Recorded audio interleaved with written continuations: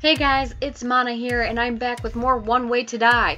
I was actually given a product code for, or product key, whichever one you want to go with, for the deluxe edition, which I'm super excited about. I would, I'm sticking with random. I, I, you know, I get the idea of choose mode, but random is funny. I love random. Suddenly, you snap awake in, in your bed, mouth dry, eyes sticky, and a slight film of moisture covering your whole body. As you blink away the fog of that last dream, the one where you died, a feeling of dread creeps over you. You are barely able to recall the last few seconds when suddenly it is replaced by a pretty nasty headache.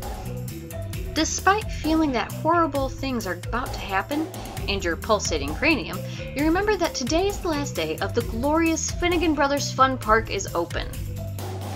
While the closing itself is truly a crime against humanity, the upside is that all the rides and games are free.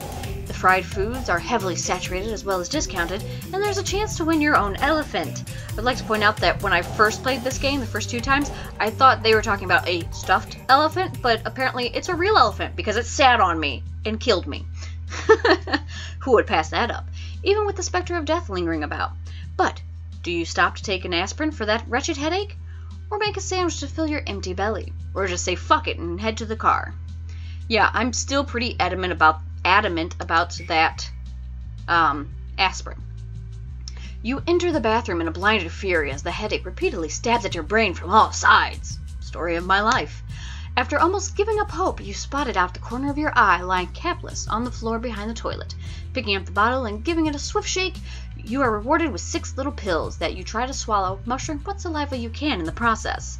The majority go down easily enough, but the last one just happens to get lodged in your throat a bit, causing you to hack and cough. It even hurts a little bit as you begin to worry about choking on it. Luckily, it dryly finds its way down to your stomach. Washing it down further with some foul tasting sink water seems to help. That was close one, you think, as you wash your face in the sink. Okay, maybe you're just being a bit paranoid about that. A smile crosses your face as you remember there is no time for such dark thoughts. The fun it's the fun park's last day. Yes, perhaps it's time to get going. To the fun park! Might be able to sneak in a sandwich still. A little something to fill your belly. Yeah, I like that. Just a few minutes in the kitchen were all you needed to whip up a delicious sandwich to tide you over until you get to the fun park. But not even this mouth-watering beauty was enough to keep those creeping fears at bay. You were a little too jumpy when you were spreading the mustard, but it's only a butter knife after all. What could really happen? You chew each bite very cautiously, randomly glancing up at the clock and then back to the table again. Every other time you take a bite, uh, every other time you take a drink of water to wash down your mashed sandwich clumps, secretly fearing you'll choke if there's not enough liquid lubricant present. You toss the plate into the sink and make your way to the front door as you swallow the last remaining piece. Delicious. Not as satisfying as fresh corn dogs, but it'll do. Let's go! You cruise out the front door with the fun park on your mind without missing a beat. You are you get into your car and back that big bad bastard out of the driveway. After straightening it out in the street and nudging the neighbor kid's bike, you go flying down the road at slightly over the speed limit just as his bike tumbles over. It seems like nothing can stop you now. As you pull up to the first red light, you realize you're low on gas, perhaps critically low if you aren't careful, and coast most of the way. You press that fancy button that gives you an estimate on when you'll run out, and it seems to be enough to make it to the fun park and back. Barely. Maybe. Looking up from the dash, you see a gas station on the corner adjacent from you. Yeah, I'm gonna get some gas. You pull up to the, to the pumps and start filling your metallic beast when your stomach gurgles. Normally, this is the part where you'd go into the little convenience store and purchase some suspect piece of food or a packaged treat. But because you made that sandwich earlier, your body is sated enough to make it to the fun part. Besides, all that super cheap fair food is going to be amazing. Finally, the handle goes click and you're all filled up with gasoline. You swipe your card through the pump's reader and get your receipt. In a matter of seconds, you're back in the car and waiting to merge into normal street traffic so you can head to, back to the freeway. Oh.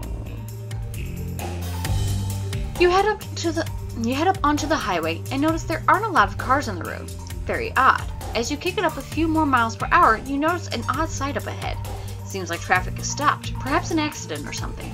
You pull up behind the last car and notice that the driver is missing. In fact, there doesn't seem to be any drivers in any of the cars.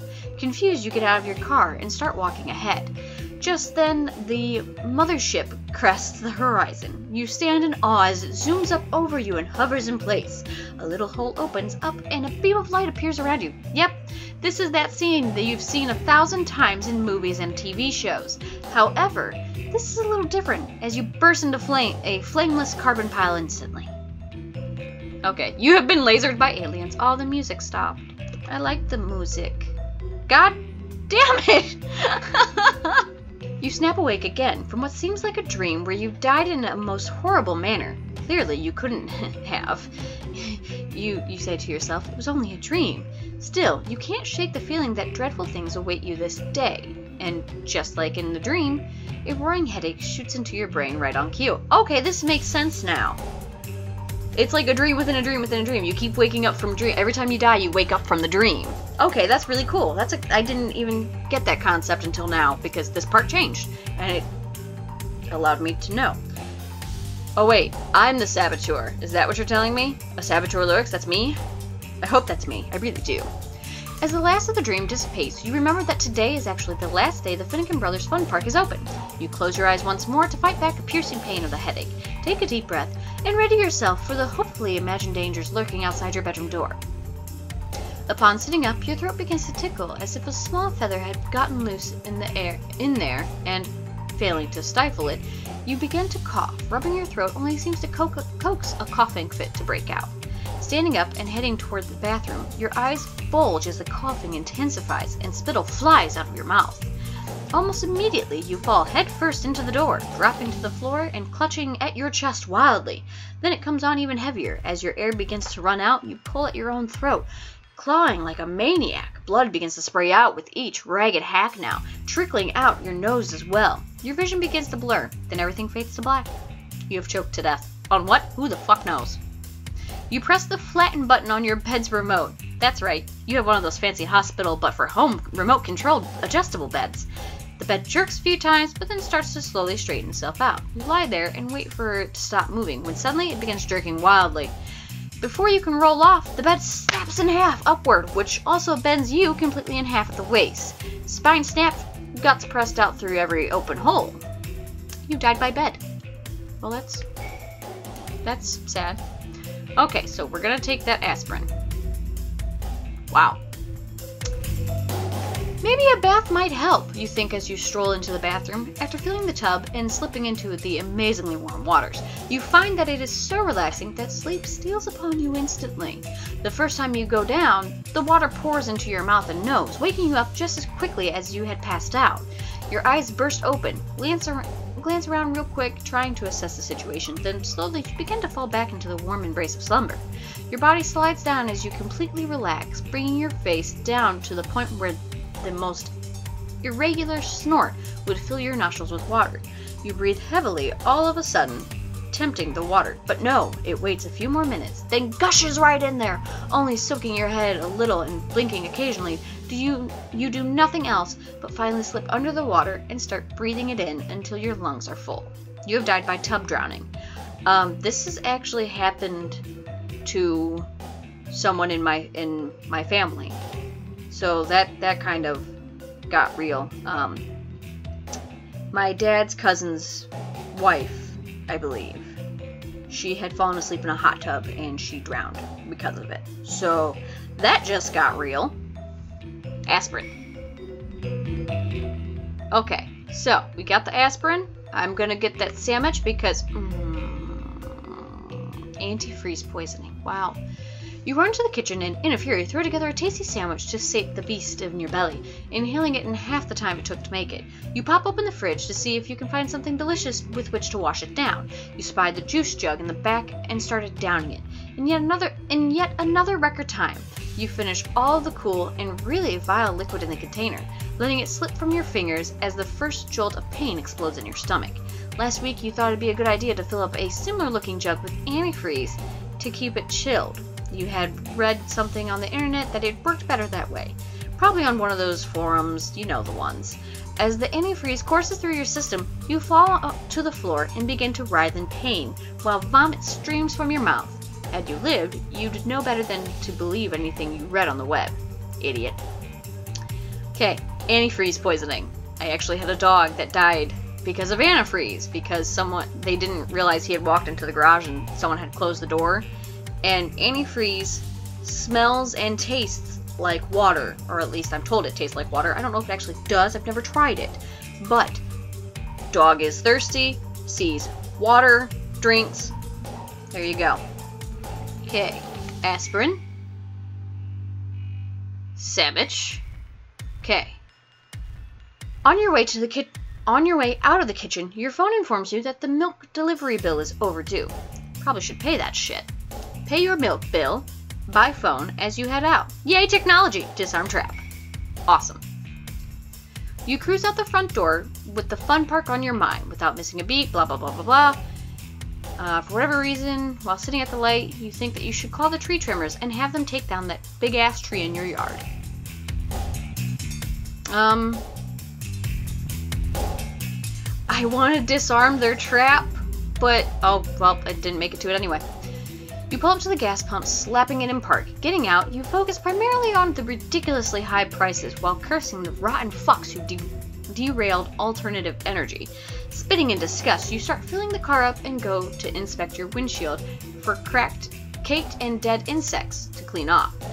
Then it, it appears in the distance. Some asshole who thought it would be cool to drive the same unarmored Humvees used in Iraq comes barreling around the corner toward the gas station. Unfortunately, this same asshole was texting some inane message to someone else as the Hummer slams into a fire hydrant, knocking it loose. The pressure of the water, in combination with the impact, is enough to send the hydrant flying from the street and towards your face, with graciously which graciously greets you with open arms. You have been blasted by a hydrant. Well then. Aspirin. Sandwich. Damn it. In the kitchen, you open the fridge and bust out a cold, refreshing, worry numbing bottle of soda. Not quite food, but it'll do the trick until you can make yourself a proper snack. Glancing around, you become dismayed at the missing bottle opener, which is usually sitting right next to the can opener. Curses. With faith in skills that should not exist, you try to open the bottle with your teeth. Sure, you've seen it done a million times. Can't be that much to it, am I right? you clamp down on the camp with your the camp the cap with your molars, mashing the bottle top as far back as your lips will let it sit. Just one wild twist undoes the cap and it bursts off from the pressure, lodging itself into the back of your throat. You claw wildly at your esophagus and slam your back against everything in the kitchen in a desperate attempt to eject the cap. Sadly, this never happens. Dumbass. That's hilarious. Aspirin. Sandwich. Damn it. You pop into the kitchen and start snatching up all the necessary ingredients for your double decker sandwich when that new lava lamp you just bought catches your eye. It is tantalizing, and you do vaguely remember something funny involving them and a microwave you saw on the internet. Without a second thought or a concern for the nagging, dreadful feeling from earlier, you walk over and pick that sucker up, then head for the microwave. 10 minutes is, a, is crazy, but maybe 5 will produce the effect you're optimistically confused about and hoping for. You lean forward, almost pressing your face against the door in childish enthusiasm as the lava hits an important and critical heat, then explodes forth from the microwave with great force. Glass, fire, microwave shrapnel, and hot lava lamp blast into your face, ripping it apart like wet tissue paper. And while it does kill you pretty quickly, it was not quick enough to make it a painless death. I wouldn't imagine so. Okay, so this is going to be my last attempt, because I have so much I need to do today.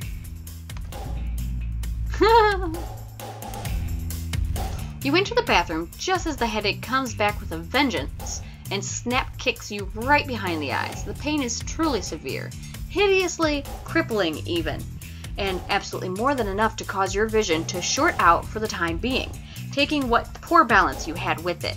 Stunned and completely jumbled, you fall forward and smack your wee head on the sink edge, cracking it just like a fresh egg. Blood gushes forth, spilling across the white tile as you slip into sweet, warm unconsciousness, never to wake back up. Ever. Okay, so I'm going to call it here because I'm out of time to record for today. So, I'm really excited about this. This is a great game. I love this so much. Um, One Way to Die is a free game on Steam, and the deluxe edition upgrade is like 50 cents, I think. So it's definitely worth checking out, especially if you like this whole random thing. Like it's, I love this. The only thing I would change is how the how quickly the music ends. Like I would find a way to loop it through the game because I love the music, and it it it ended before I got my fill of the game. I'm still not done with this game. It is too funny. And there are so many things that I have yet to see yet because I have only made it to the park once. I've made it there one time and I got set on by an elephant as soon as I got there. So, definitely going to be coming back to this game. I absolutely love this game. It is too funny. Although I will admit two of them were in this in this one, two of them were, you know, kind of too relatable for for my being. But, you know, it just happened to be random chance that they that they were, you know, relatable for me, which is really weird. So, I'm logging off now. I'll see you guys later, and remember to do something nice for a stranger today. You may just save a life. Bye!